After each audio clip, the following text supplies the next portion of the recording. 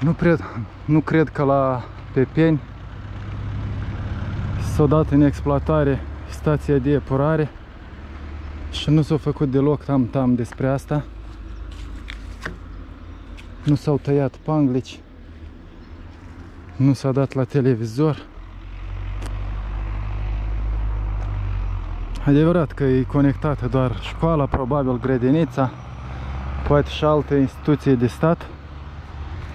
Dar înțeleg că e deschis accesul și deja se poate conecta și lumea care e mai aproape. Sper că stația de epurare e funcțională pe mult timp și are capacitate pentru tot satul. Deci iată cu dorință politică, cu investiții probabil externe, se poate face ceva bine mirositor și încurajator că nu mai poluăm. Na, iată au rămas deșeuri de șantier. O bucată de conducte de plastic a fost lăsată aici pe Maidan și devine poluant. Și sacul ăsta de gunoi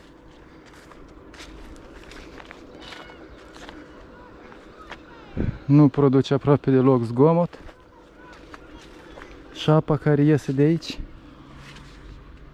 nu miroase deloc, e cristalină, doar că sunt, iată, deșeuri aduse de vânt și de ploaie din sat. După cum vedem, râul care vine din sat e mai murdar decât râulețul care vine de la stația de epurare. E bun așa. Cam asta e calea. Cam fiecare localitate sau grup de localități comună ar trebui să aibă stații de epurare.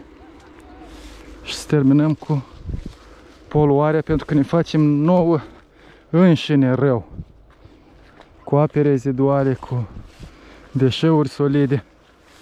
Trebuie să învățăm să consumăm mai puțin, să producem cât mai puține deșeuri, mai ales din astea de plastic.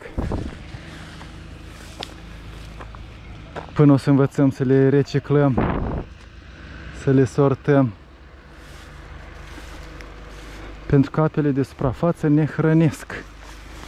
Din apele de suprafață se adapă animalele, plantele pe care le mâncăm noi.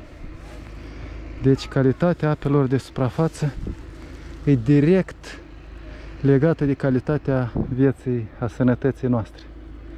Râpa asta iligacea niciodată nu a fost așa plină și stătută. Și niciodată aici, lângă stadion, n-am avut stufăriș sau păpuriș.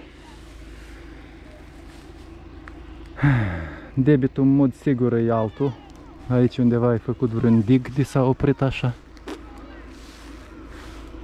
Da, sper că nu se poluează. Mai acolo avem un service, o spălătorie. Sperăm că au filtre, dacă nu, poate că o să-și facă. Acolo pe deal văd că arde ceva și mă duc acum să investighez.